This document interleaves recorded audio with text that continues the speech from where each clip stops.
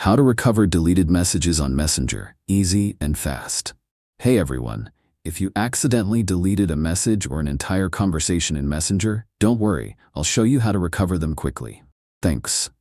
Before assuming the message is gone forever, let's check if it was just archived instead of deleted. Open the Messenger app. This works on both iPhone and Android. Tap the three lines, select Archive. If you see your conversation in the archive, just swipe left and tap Unarchive, and it'll be back in your main chat list. But if you don't see it in the archive, don't worry, there's still a way to recover it. To download your Messenger data from Facebook, open Facebook. Tap the three lines at the top left again. Tap the gear icon at the top right to open Settings. Scroll down and select See More in Account Center. Tap your information and permissions, then select Download your information.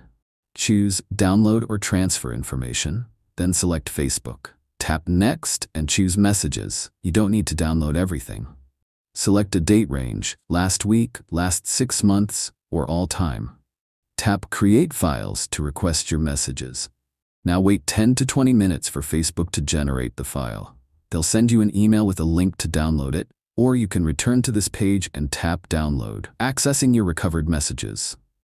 Once downloaded, open the Files app on your iPhone or Android. Go to Downloads and find the zipped file from Facebook. Tap to open it and view all your messages. From here, you can save them, print them, or transfer them to your computer. And that's it. If this helped you, hit the like button and drop a comment if you have any questions. Thanks for watching.